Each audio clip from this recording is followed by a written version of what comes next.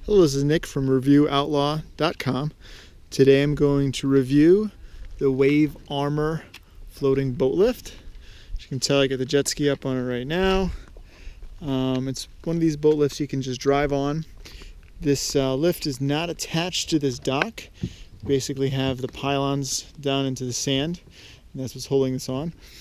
This is the Yamaha jet ski, which is a little bit wider, so I only put three pylons on, but holds just fine. Um, cost a little bit over a thousand dollars. It's nice because it just floats, keeps the jet ski engine nice and clean. Um, I will show you a video of us pulling it up. It's a little bit uh, tricky, something, a couple things you need to know about when pulling the jet ski up. One thing is you don't want to overdo it, and you can go over the front of this because of the wheels. Another thing to note is when you you want to get something to lock in the front of this jet, this jet ski right here and hook it in nice and tight.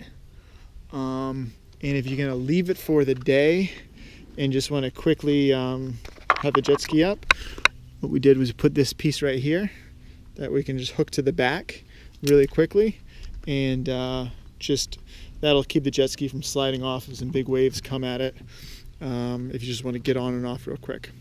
So, all right, so Paul's going to show you here how to roll it off. So just start start the rolling here, and then you can get on it.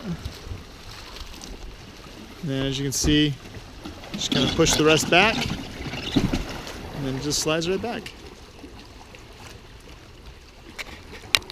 All right, coming up on the lift here, just kind of roll up, get yourself centered up.